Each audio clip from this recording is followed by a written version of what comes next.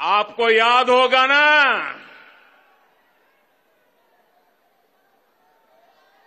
हम लोगों ने निज़ाम की हुकूमत, देश तो आज़ाद हुआ था, लेकिन हमारा ये हैदराबाद और ये सारा इलाका आज़ाद नहीं हुआ था।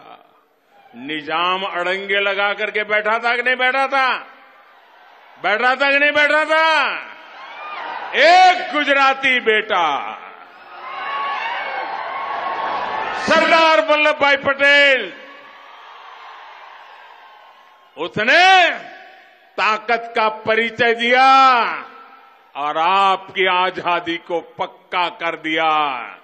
आज दूसरा गुजराती बेटा आपकी समृद्धि के लिए आया है। आपके विकास के लिए आया है। आपकी भलाई के लिए आया है। हमने तेलंगाना में नेशनल हाईवेज, नई रेल लाइनों